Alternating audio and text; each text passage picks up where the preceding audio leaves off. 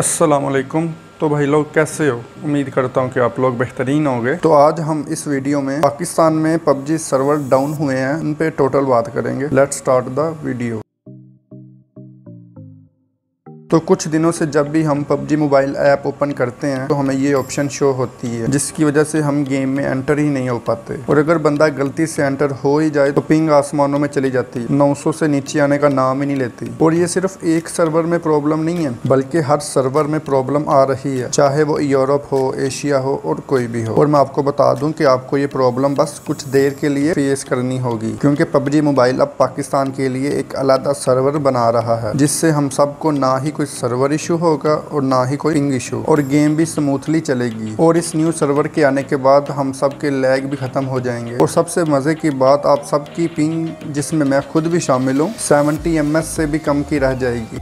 पहले PUBG mobile के server Pakistan की लोकेशन से काफ़ी फासले पर थे, जिससे पिंग 100 टू 200 एम तक रहती थी और कभी अबव रहती थी। और इसी की वजह से गेम अनस्टेबल और ग्राफिक पुअर रहते थे। तो अब जब पाकिस्तान में ही पबजी मोबाइल का न्यू सर्वर लॉन्च होगा तो गेम बहुत ही ज़्यादा स्टेबल हो जाएगी और साथ साथ लैग फ्री हो जाएगी। और इससे लगता है कि पबजी भी पाकिस्तान की अहमियत को पहचान रहा है और अब पबजी मोबाइल ऑफिशियली पाकिस्तान के लिए सेपरेटली तौर पर सर्वर पर वर्क कर रहा है और इन सर्वर्स की वजह से पाकिस्तान को इंतहाई ज़्यादा फ़ायदा होगा और पाकिस्तान के जो बेस्ट प्लेयर्स हैं, जो प्रो प्लेयर्स हैं, वो इजीली ग्लोबली स्पोर्ट में पार्टिसिपेट कर सकते हैं। पाकिस्तानी गेमर्स भी किसी से कम नहीं है, लेकिन हमें तो प्रॉब्लम्स काफ़ी ज़्यादा होती हैं। Net issue ping issue server issue और अब दिख भी रहा है कि पबजी मोबाइल पाकिस्तान के मामले में काफ़ी ज़्यादा सीरियस है। तो जब ये मसले सारे हल हो जाएँगे तो पाकिस्तानी ईजिली ग्लोबली स्पोर्ट में पार्टिसिपेट कर सकते हैं और वर्ल्ड गेमिंग कम्युनिटी में अपना नाम बना सकते हैं। जिस तरह आप हमारे, हम हमसाए मुल्क इंडियन स्ट्रीमर्स मोर्टल और स्कोड वगैरह को ई स्पोर्ट में देखते हैं। अगर तो भाई लोग, आप पबजी से फुल अडिक्टेड हो,